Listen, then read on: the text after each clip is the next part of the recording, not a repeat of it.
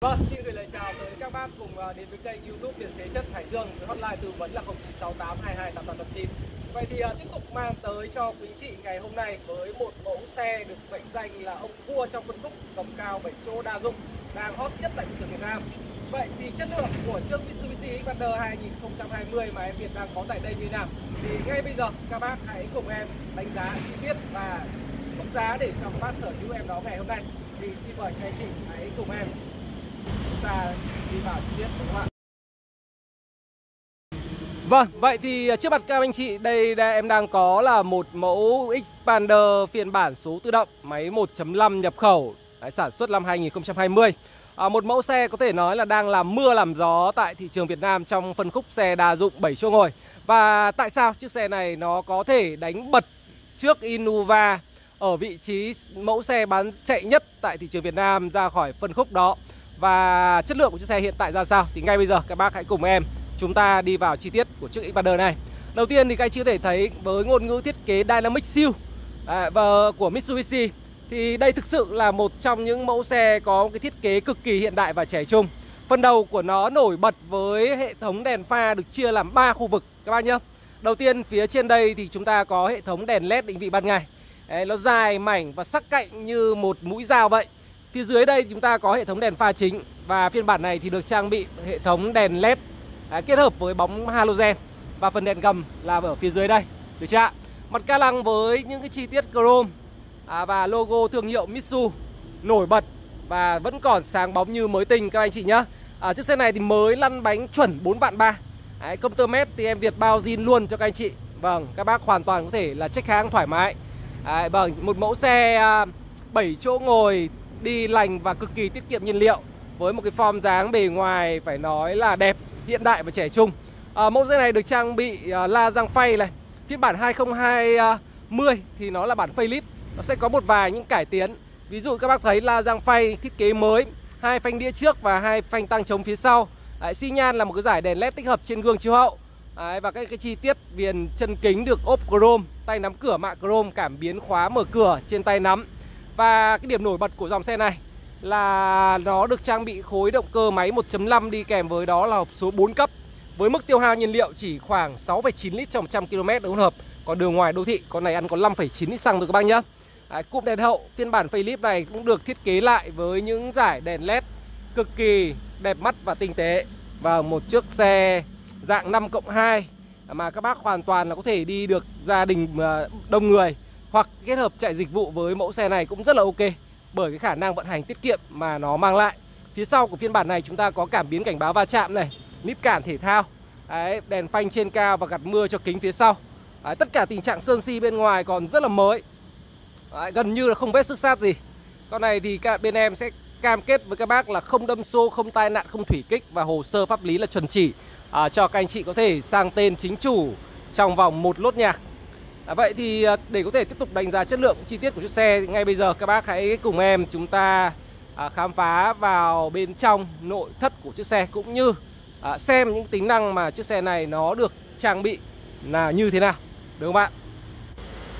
Vâng và bây giờ thì các anh chị có thể à, chúng ta cùng kiểm tra tới không gian nội thất bên trong của chiếc xe này. À, xe màu đen ngoại thất và nội thất cũng là màu đen. À, với một cái mẫu xe 7 chỗ tầm tiền phổ thông Tuy nhiên thì à, chiếc xe này không mang lại cho chúng ta cái cảm giác nó là một mẫu xe phân khúc giá rẻ. Đấy, Phải nói là những cái vật liệu, các chi tiết được thiết kế cũng khá là tinh tế. Đấy, Từ những cái chi tiết chrome này các bác thấy này. Đấy, Cũng được trang bị một kính auto tay nắm cửa mạ chrome Hệ thống loa âm thanh. Đấy, Con này thì nó quá mới rồi Bao zin các anh chị từng con ốc.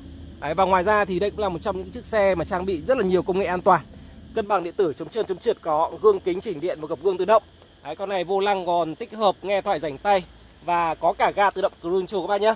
Đấy, và anh chị có thể thấy này các chi tiết vô lăng của nó cũng còn rất là mới. Với mức công tơ mét hiện tại của xe này lăn bánh chuẩn 4 vạn 3 mẫu này có màn hình và cam lùi rồi hệ thống điều hòa là chỉnh cơ. Đấy và trần thì được bọc da rất là cẩn thận. Và hệ thống cửa gió điều hòa các bác thấy này.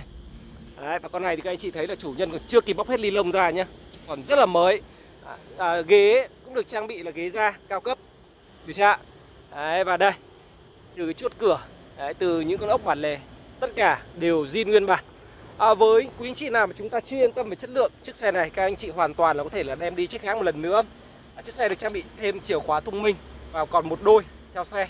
Ngoài ra thì nó còn có đề nổ start up đó, và em vừa nổ máy và các anh chị có thể thấy là các thông số hiển thị rất là rõ nét này. Đấy, và máy nổ thì rất là êm mà chúng ta gần như không cảm nhận được khi mà các bác ngồi ở trong cái vị trí này. Đấy, và màn hình ăn màn hình cam lùi hiển thị cũng rất là sắc nét. Đó một chiếc xe đi tiết kiệm lành Đấy, bền à, vâng, xe nhật. Vâng đúng không ạ đúng chiếc xe nhật. Đấy, chủ nhân cũ là lắp thêm cho các bác cả cảm biến cảnh báo va chạm phía sau rồi. Và tiếp tục với hàng ghế thứ hai của chiếc xe này. Đấy, thì đây các bác có thể thấy vâng à, đây là một chiếc xe dạng 5 cộng 2 À, đấy, nhưng các chị thể thấy là hàng ghế thứ hai của nó thực sự là rộng đúng không ạ? Đủ chỗ cho ba người và khoảng để chân nó rất là lớn. Đấy, và cửa gió thiết kế ở cái vị trí này và chúng ta có thể chỉnh được cái hướng gió.